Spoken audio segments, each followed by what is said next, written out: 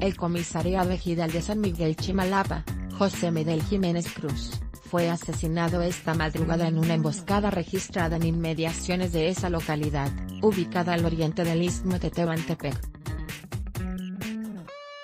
En el ataque otras tres personas resultaron heridas por disparos de arma de fuego, por lo que fueron ingresadas a un hospital de Juchitán de Zaragoza, donde la reportan graves, informaron corporaciones policíacas. Según los primeros reportes, el comisariado junto con el grupo de tres personas, entre ellas una mujer, se dirigían a la ciudad de Oaxaca donde habrían de desahogar trámites administrativos y gestiones, propias del cargo. Jiménez Cruz fue electo presidente del Comisario de Bienes Comunales de San Miguel Chimalapa el 13 de marzo de 2016 y culminaría el año próximo.